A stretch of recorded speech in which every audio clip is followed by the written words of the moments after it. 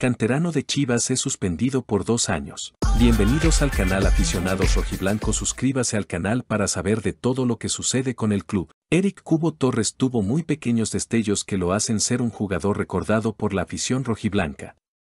Sus goles al América y su anotación que prácticamente salvó al rebaño del descenso, lo hicieron ser alguien querido, a pesar de no ser un gran delantero al nivel del Guadalajara.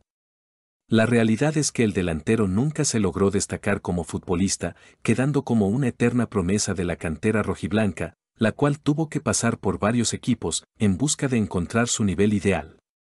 Él, Cubo, milita actualmente en el Herediano de Costa Rica, donde había logrado encontrar una estabilidad de nivel de acuerdo a las exigencias que tiene la Liga Tica. La mala noticia llegó hace algunos días para el delantero mexicano, cuando se informó que dio positivo a Clostebol, lo cual le representará una sanción de dos años sin poder jugar. Será muy difícil que el canterano de Chivas logre levantar su carrera después de la sanción que deberá cumplir.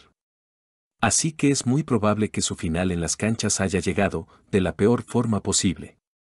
Comenta abajo tu opinión.